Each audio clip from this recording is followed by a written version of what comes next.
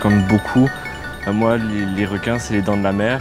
Ça représentait exactement tout ce qui me faisait le plus peur de l'océan. Dès qu'on pense requin, on pense danger, attaque, peur. Comme tout le monde, je pense que c'est très difficile de sortir de tous les récits autour du requin. Tu te dis que ça peut quand même te croquer une jambe ou deux. J'avais pas nécessairement peur des requins, j'avais juste, euh, j'y pensais jamais.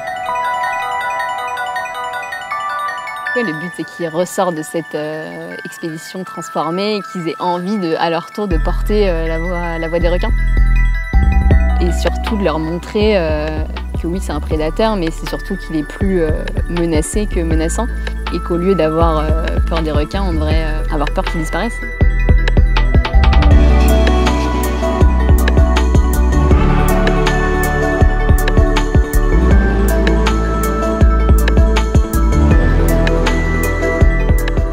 On réalise qu'on est en train de vider l'océan de cette espèce à un rythme hallucinant.